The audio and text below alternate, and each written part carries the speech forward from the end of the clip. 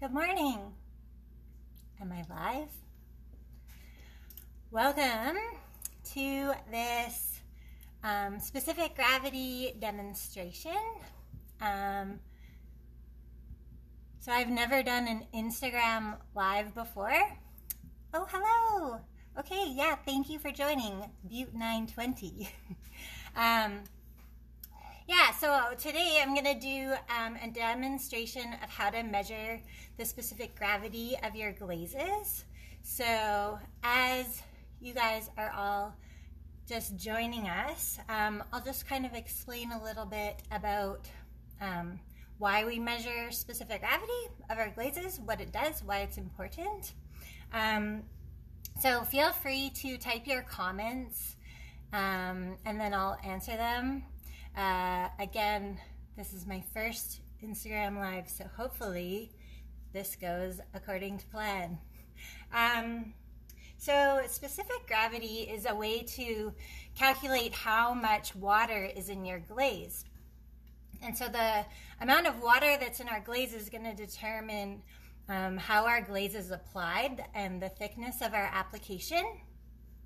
And so I'll just show you a few test tile examples of when you have less water versus more water. So um, as we know, like sometimes when our glaze is too thick, then it can it can run in the kiln. And so um, when you measure specific gravity, it's just a way of like calculating the amount of water so that you always have a consistent amount of water and so you're not guessing every time that you're glazing, um, so then your application can become more consistent.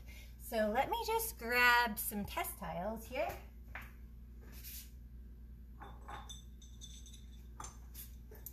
So for example, sometimes you have a glaze that um, is a different color when it's thin versus when it's thick. So this glaze here, um, the specific gravity is 1.63. And the as the specific gravity number goes down, um, that means you've increased the amount of water. So you add water to bring the specific gravity down. So this glaze has less water in it than this glaze. And so as you can see, this glaze is kind of this uh, rose color where it's thick, and then it's yellow where it's thin. And so this could really affect your results if your thickness isn't consistent. Sometimes your pots could come out with this rose color and then other times they might be more yellow. And so you might like to have that variation, but sometimes it's nice to be able to control it. And so if you can control the amount of water, then you can adjust your application um, so to make it thinner or thicker if like depending on what you prefer. So then we've got this other glaze, Woo Yellow here. And so uh, this one has less water than this one. And so you can see as you add water, the glaze is a little bit darker and you get like these darker edges. And that might be something that you like to have a glaze that breaks over the edges. And so when the glaze is a little on the thicker side, you might lose that um, the texture in your, like if you have texture on your pots. And so that might be another reason why you would want to keep your specific gravity at a lower level. Um, and then, so sometimes here we have a clear glaze on a dark clay body. And so this one has less water than this one. And so you can see how cloudy this glaze, this clear gets when it is um, too thick.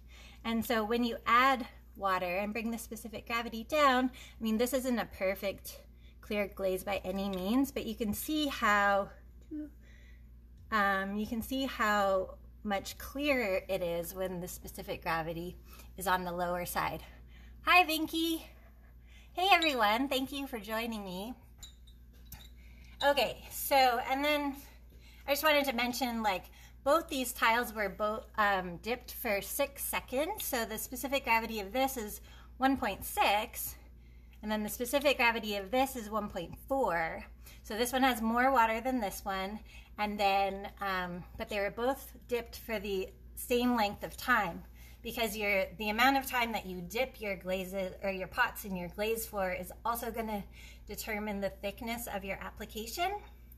So if you can keep the water content consistent, then you can kind of predict how your glazes are going to behave. So, um, so then if you want a thinner application, like if you're going to be layering your glaze with other glazes, you might want to keep it on the thinner side so you can just dip for a shorter amount of time. Um, or sometimes you have a glaze that's like super juicy um, with lots of color and variation when it's on the thicker side. And so then you can, you would know that you can hold your piece in longer if you want a thinner, a thicker application. So it just uh, gives us a way to control our glaze application and so that it's a little more predictable, a little less surprising when we're opening the kiln. So uh, those are kind of the reasons why we would want to measure specific gravity. And now I'm going to show you how. Um, so this is a glaze that I've had. Um, it's just been sitting for a long, quite a long time. And so anytime that I go back to a glaze that I haven't used in a while, I want to make sure that the water content is where I want it before I start using it. Hello, everyone that's um, saying hi. Uh, thank you for joining me. So what I did was, for the, for the purposes of this demonstration, um, I removed the water that was sitting on top. So I'm starting with kind of the least amount of water that, um, you know, that I can get from this glaze that I've already mixed. Um, Vinky says, if your, if your glaze is sitting for months, do we still need to measure specific gravity? Oh, yeah, exactly. That's exactly what I'm saying. So my this glaze has been sitting for months. And um, so I definitely, before I'm going to use it, I want to make sure that I get it to the level that I've determined is the best for this particular glaze. So um, for this glaze, I like to keep it at around 1.45. um, and that's not the ideal specific gravity for every glaze. That's just the specific gravity that I've determined works best for this clear glaze. And the way I determine that is I'll just take a glaze and I'll test it. So I'll mix a glaze with minimal water content. Um, I'll mix it and sieve it, uh, dip a test tile, and then I'll add water and I'll measure specific gravity each time and then I'll fire all those test tiles and then I look at them and decide which one I like best. So it's really up to you uh, what the um, ideal specific gravity would be for your glazes. Um, so people are always like asking, you know, what specific gravity should this glaze be? Why don't people write like write it on their recipes? And that's because it's it's kind of subjective and it depends on your application methods and it depends on like your aesthetic preferences because you might like how it looks when it's thicker or thinner. And so you get to decide for yourself. And the best way to figure that out is just by um, testing it over a range, uh, recording the specific gravity, and then um, based on your fired results, you can decide how you want it to be. So this clear glaze, it works best actually between 1.4 and 1.45. So I always like, I never try to get it to an exact number because it just takes a little too long. So I always just have a range that I try to get each glaze in um, to fall in between. So the first step is um, I'm going to use this graduated cylinder. Um, so this is a 500 milliliter plastic graduated cylinder that I bought on Amazon. And uh, the first thing I do when I buy, I mean, I've only bought a couple of these in my life, but um, the first thing I would recommend that you do if you buy a graduated cylinder is to calibrate it first. And you do that by um, putting it on your scale and then you can weigh out like 100 grams of water and make sure that the 100 grams of water comes to the 100 milliliter line. So uh, one milliliter of water always weighs one gram. So if you have 100 grams of water, then you have 100 milliliters and so on. So this graduated cylinder was a little bit off. It was off by 10 milliliters kind of the whole way up. So I just drew new lines. And so I know that if I want 100 milliliters, I have to bring it up to the 110 milliliter line. So that's just a tip if you're buying a new graduated cylinder, just to make sure that it's accurate. And then, um, so you want to place it on your scale and then tare your scale so that the scale reads zero. And so then, um, uh, you always want to high speed mix your glaze before you pour it into the graduated cylinder. And um, that's because, as we know, like glazes can settle out. So the water rises to the top, the, the solid particles sink to the bottom.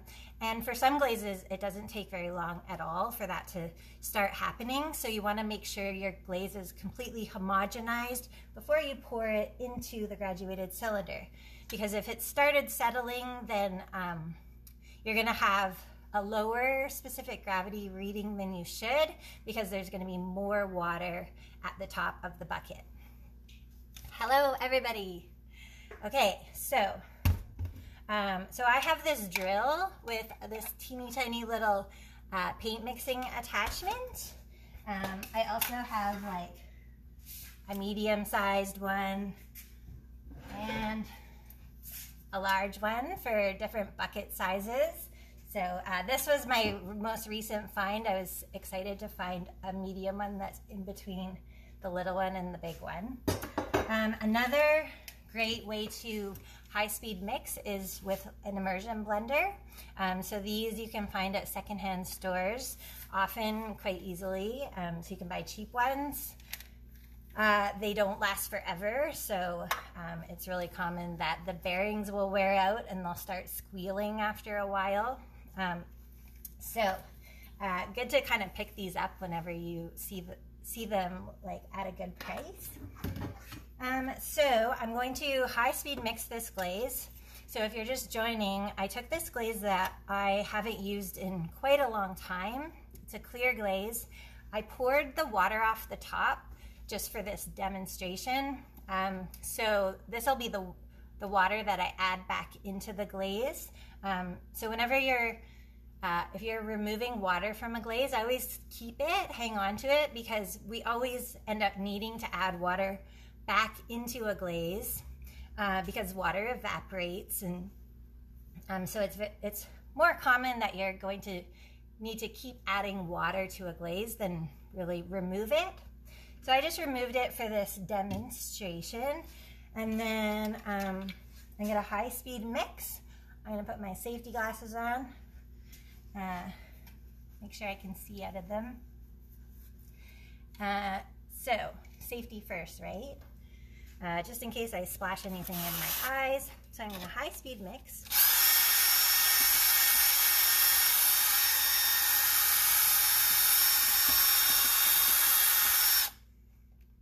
So this glaze is quite thick right now because I removed that water. So as long as I can pour it into the graduated cylinder, I'll be good to go.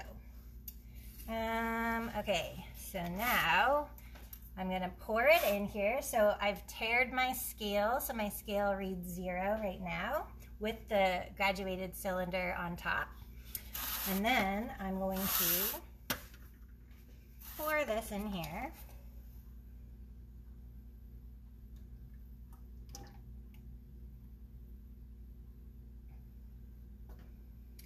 Um, another thing that I would do if I was um, grabbing a glaze or going to use a glaze that has been sitting for a while is I would um, sieve it first as well. So I noticed there's a few lumps in this glaze. I haven't sieved it, but um, before I would go to use it, I would probably give it a sieve. So now I have 355 milliliter, milliliters. Um, just grab my calculator here. So the calculation for specific gravity is grams per milliliter. So you divide the grams, the weight on the scale, so the weight of the liquid glaze in the graduated cylinder, you divide the grams by the milliliters, and that's how you get your specific gravity. So, uh-oh, my calculator doesn't work. Well, this is, okay. So 561 grams, and we have 355 milliliters. I'm just gonna do a quick calculation.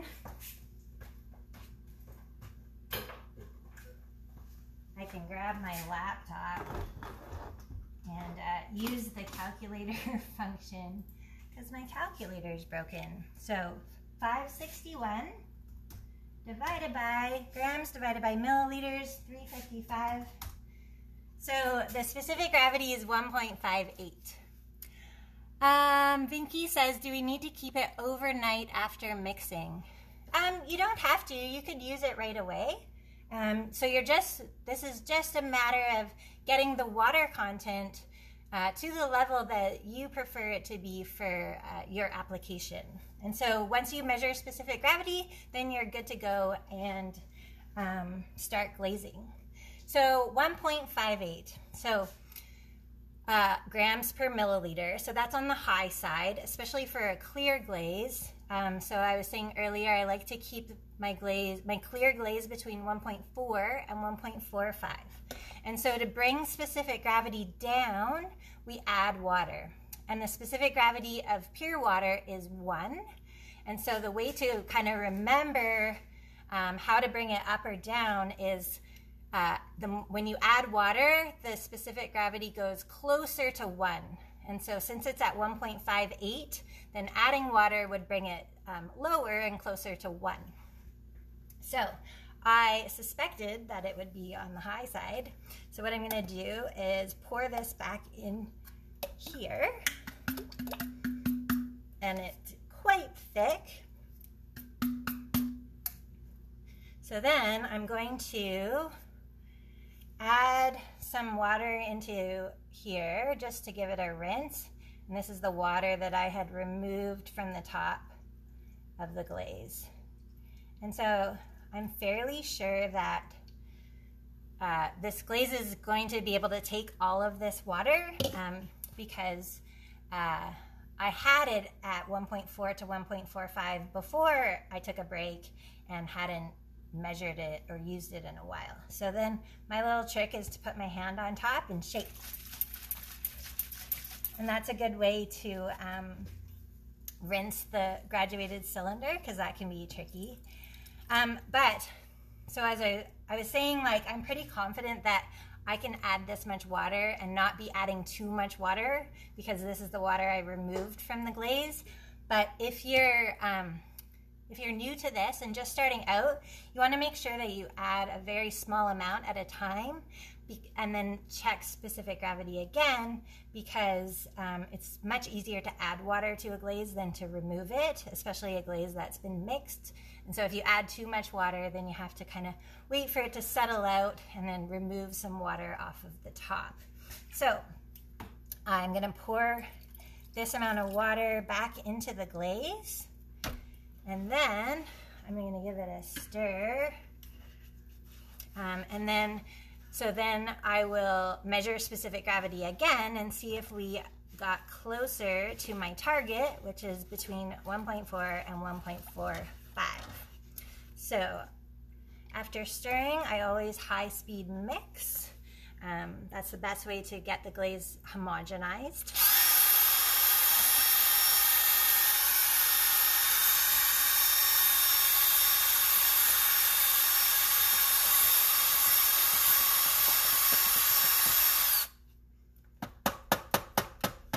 Okay, so that is, it's much uh, more fluid now.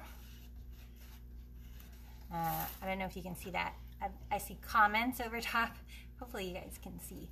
Um, so it's much more fluid. So now I'm going to um, measure specific gravity again. So I just grab my graduated cylinder. Make sure that the scale like hasn't shut off or and um, so I have it plugged in so it kind of holds the number. But sometimes if you have a, a battery operated scale and you wait too long, then it shuts off and you have to turn it back on.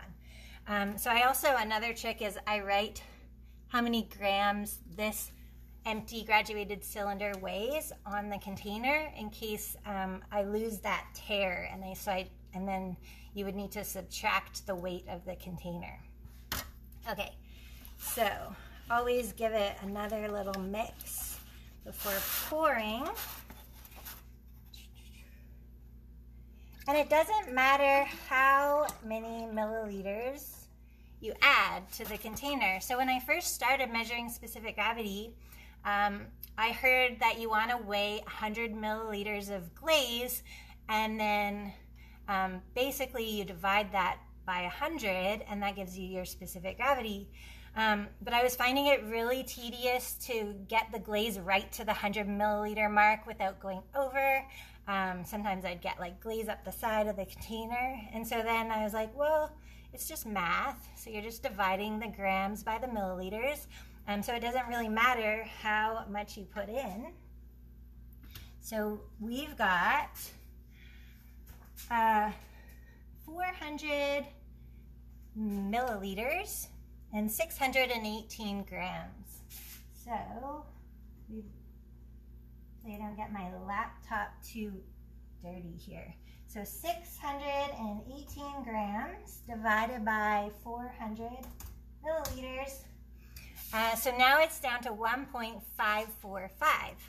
So it didn't come down by very much. And you saw how much water I added. So now um, I'm trying to get it to between 1.4 and 1.45. So I'm going to pour this back in here. And this is all you do, basically. Um, once you know what your target specific gravity is, then you just keep adding a little bit of water at a time until you get to your target and then you're good to go. So I'm gonna add the rest of this uh, glaze water to the graduated cylinder, give it a shake, just to rinse that off. Um, and then I'm gonna add just a little bit of extra water because I have a feeling it will need a little bit more. And then I will mix and we rinse and repeat, right? So, um, so this is much more fluid. The glaze is um, thinner in the bucket. The viscosity is lower. Um, and so it's gonna be much easier to get like a nice thin coat of clear because when you're working with clear glazes, oftentimes you're using a clear glaze to show what's underneath. Um, so either you're working with slips or underglazes or decals, um, or you just want to show the color of the clay underneath. Um, and you really only need like a very, very thin layer of glaze for it to do its job and for your pots to be um, become vitrified and um, to have that layer of glass for um, you know for food safety and and uh, that sort of thing. Like you you don't need a really thick layer of glaze. Um, it's a very thin layer. As long as it's like you not rough and you can feel the clay body underneath, that would be too thin, I would say, for for like a functional piece. Um, so making sure my scale is still tared still zeroed out. And then I'm going to high speed mix again. Pardon me.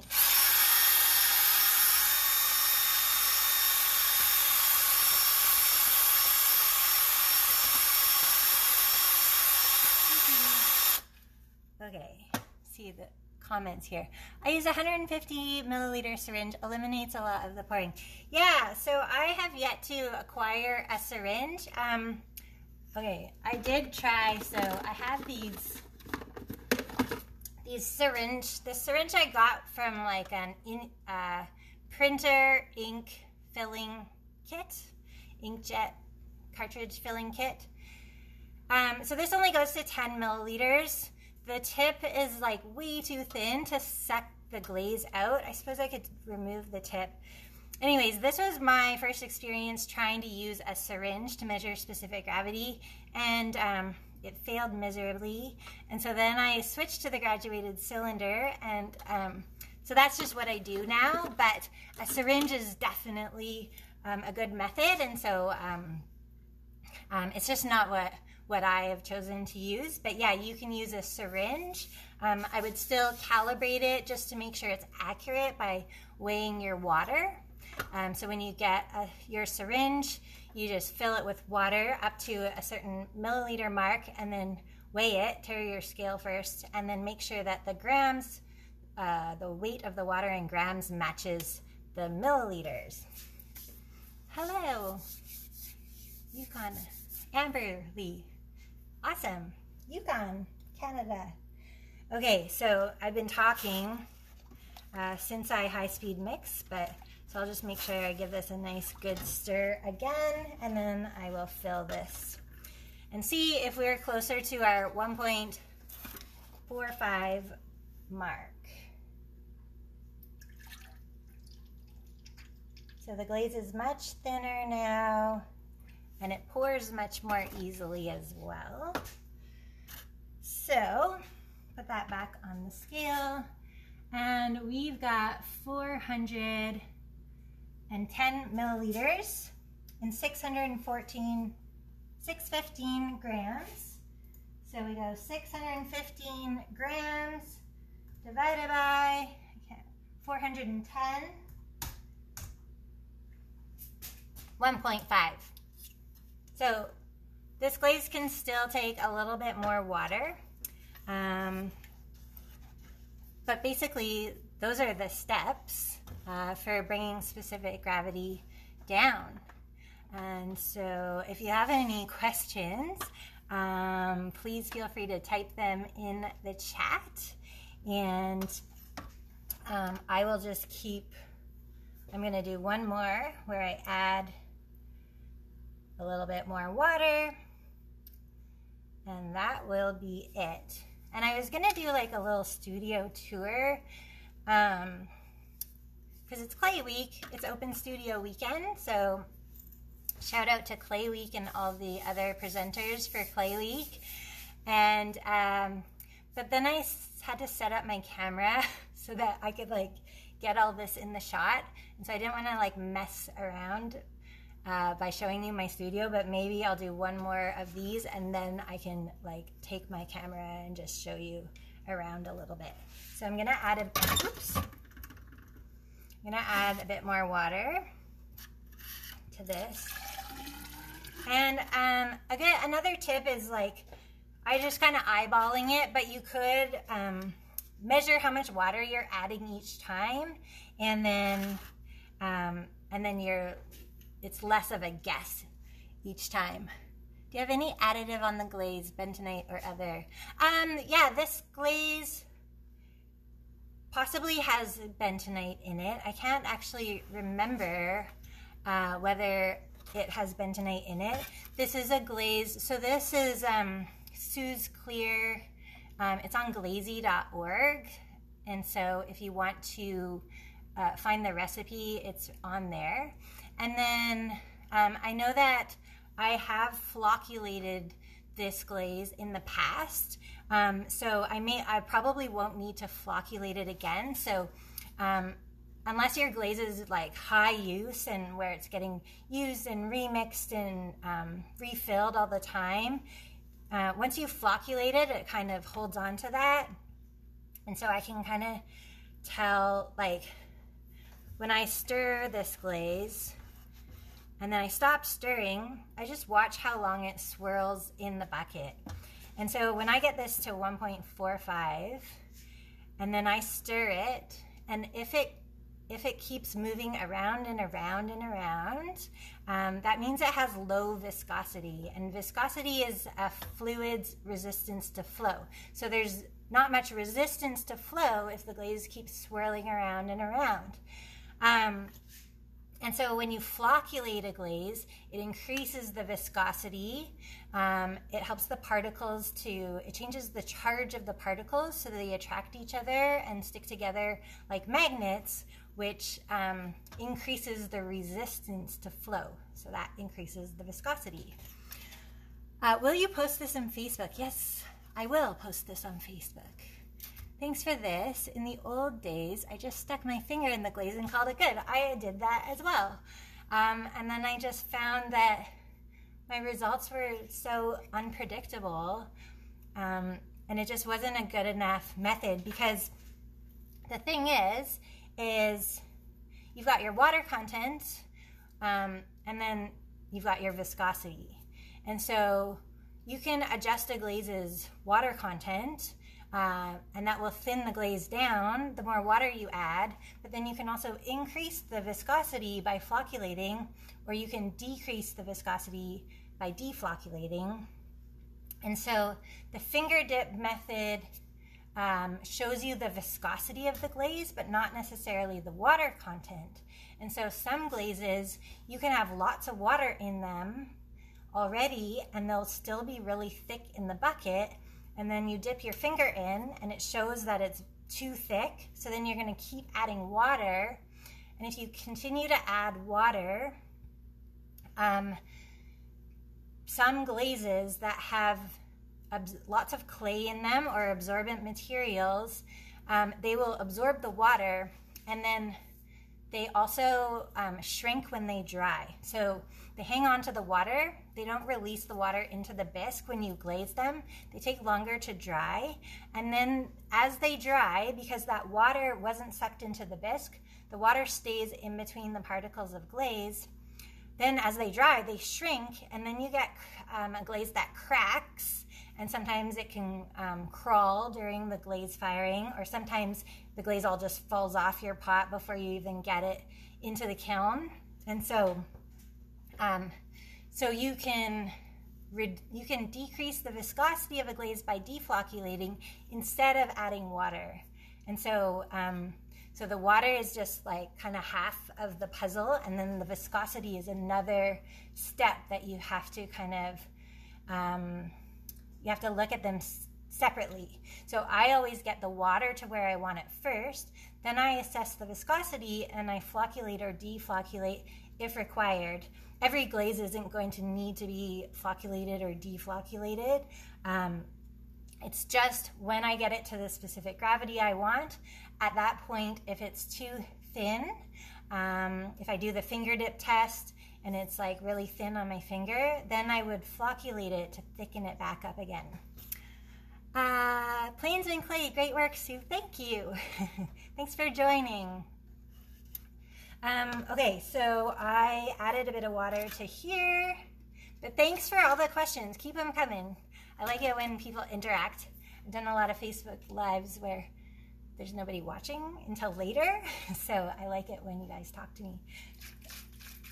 So I added water, just giving it a rinse, and add that to the glaze. And so then I can give this a mix. Flat River Studios says, I use specific gravity now. Yeah, I really recommend it. Um, if you weren't here when I started this video, um, I was showing, um, you know, how test tiles. So here's an example of this is the same glaze. And so this one, the specific gravity is 1.68. So that's really high. That means it has a low amount of water. And then this one, the specific gravity is 1.5. And so adding water completely changed the appearance of the glaze. So this is much too thin. So this is a glaze that once I bring the specific gravity down, my glasses are fogging up. Um, once I bring the specific gravity down, then I flocculate it. And so when I take this glaze and flocculate it with Epsom salts, um, then it thickens it back up again and you get that blue color back. And so the other thing is, if you look, Uh, this glaze has this big drip on the side, so this one has the least amount of water, um, but it's also running. So you don't want the glazes running onto your kiln shelves. Um, so then at 1.5, uh, flocculated, we still get the blue color, but then we don't get the big drip. So that is um, just to show like how flocculation works.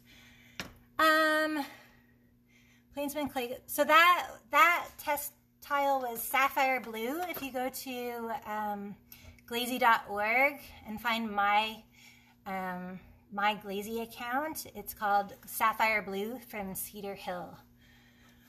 Um, do do do do do. Sue, the method you taught has been always helpful for me to get good results. Prefer specific gravity always. I remember still the first class I took from you.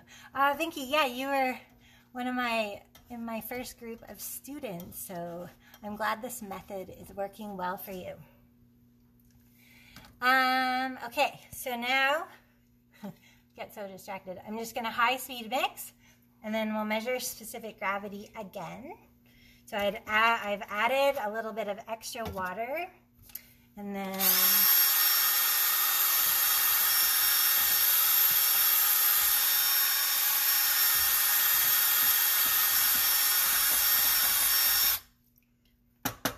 So just making sure that that hasn't started to settle out. I'm sorry, I know I missed some comments and I'm afraid to touch my screen in case I um, stop the video or something. So uh, great explanations. Yeah, no problem. Thank you. Thank you for watching. Okay, so this will be the last one that I do because I'm not, it's not that exciting really. it is when you get um, consistent glaze results. That can be life-changing. Um, Yukon Amberly, we use so many of your glaze recipes at Arts Underground. Yay! Okay, Yukon. So I taught um, a glaze workshop uh, in Whitehorse, Yukon in May of 2019. And so uh, we made a whole bunch of different glaze recipes. Um, we did color runs of 10 different recipes and or nine maybe. And so, uh, yeah, so they have lots of new colorful glazes. Okay, so I'm going to fill this graduated cylinder.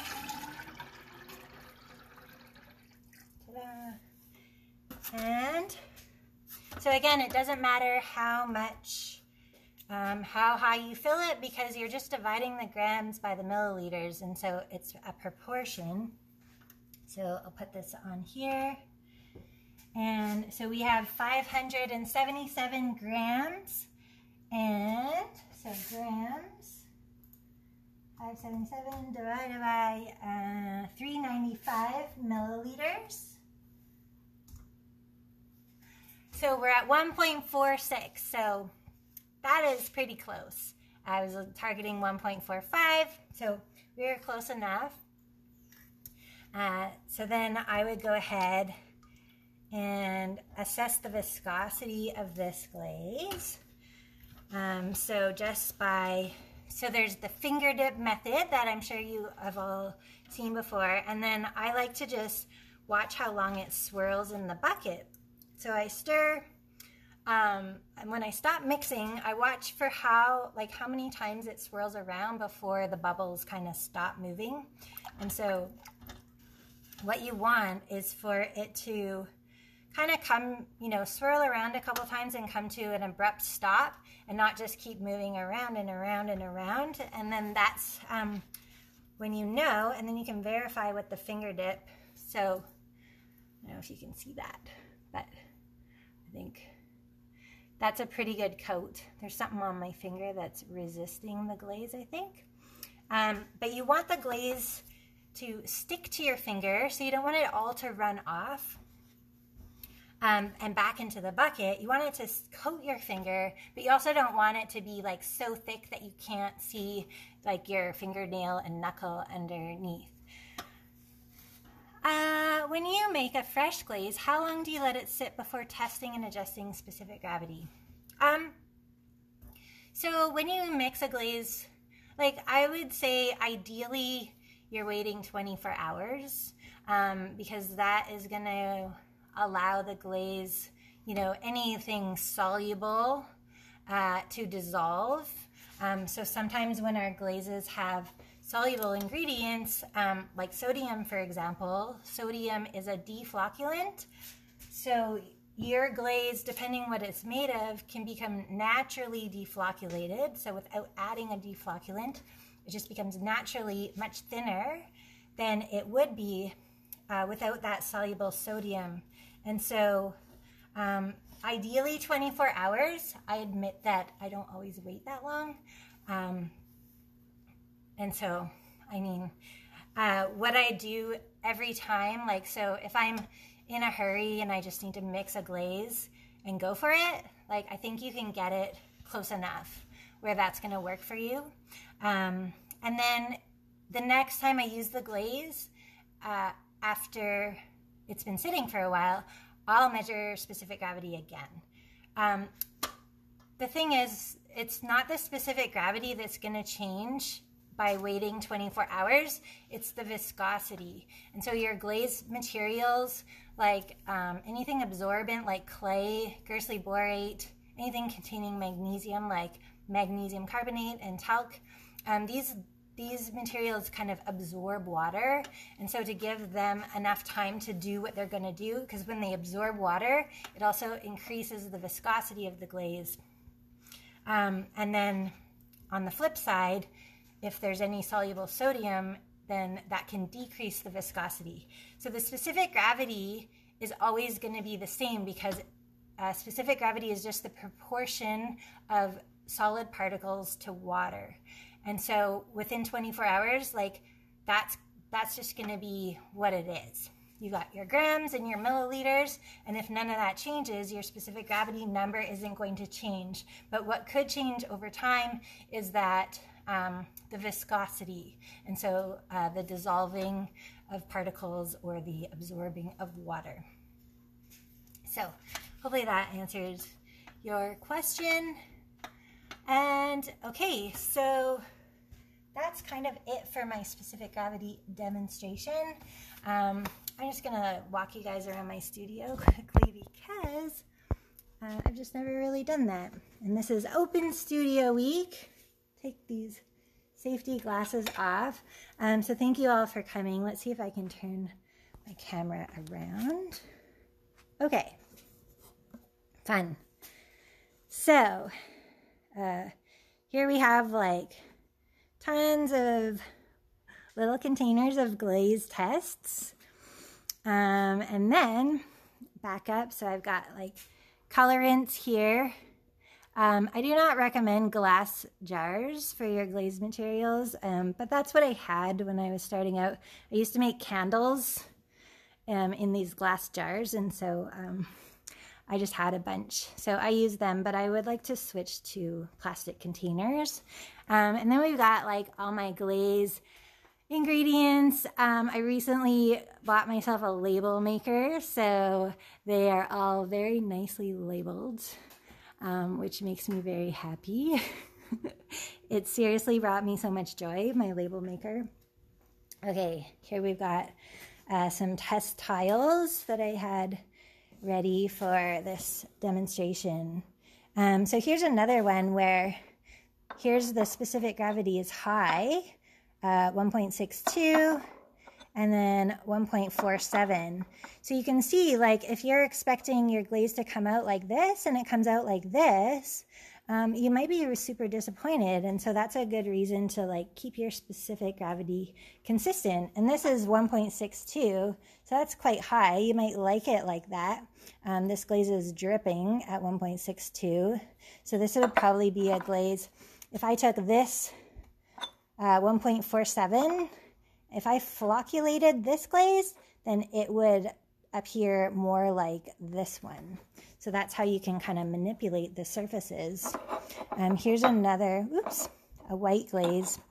So you can see, again, you've got the big drip where the specific gravity is high, and then when it's lower, so this is 1.48, um, no dripping. So that is how uh, specific gravity kind of works. And here, these are, this is an example of before and after flocculating. So you can see that flocculating this glaze kind of gives it a little more depth. Um, it's a little bit shinier. And then uh, this is before flocculating. Um, it's a much thinner coat. And so some people like it like this and others like it like that. Uh, so I got my triple beam balance scale right there. Box of test tiles. So here is like my favorite. so those, all these boxes have test tiles in them and they're all sorted. So this is like one glaze I was testing when I was in school called 86. Um, and this is this this box is full of test tiles from just one base glaze with a bunch of different colorants in it. Um, so the, that's my test tile collection, which I am super happy about. I just love like going through test tiles. Um, what else? So then we've got the rest of my studio. So my boyfriend's band practices on the other side of the room. There's the drum kit. We got microphones, a lovely wood stove for heat. Um, and then over here, this is my throwing area. Um, I use a mirror for throwing so I'm not like hurting my neck looking sideways at my pots. Um, this is like my working table. I have um, HardieBacker uh, screwed down to the top and so I use this instead of canvas now. Um, since uh, I removed the canvas from my, let me turn this around. Hi. I removed the canvas from my table and it was like super gross and black and moldy underneath. Um, so I wanted to find something that uh, is gonna like uh, be less um, holding of dust and mold. And so the HardieBacker board has been great. Um, if you're drying out clay, um, it absorbs moisture really fast. Um, so that can be work in your favor or against it, depending what you're trying to do. Um, so I think that is the end of my demo. Let me put this back up here. Um, so yeah, again, like shout out to Clay Week. Hopefully you guys have um, got to see some other demonstrations and open studios.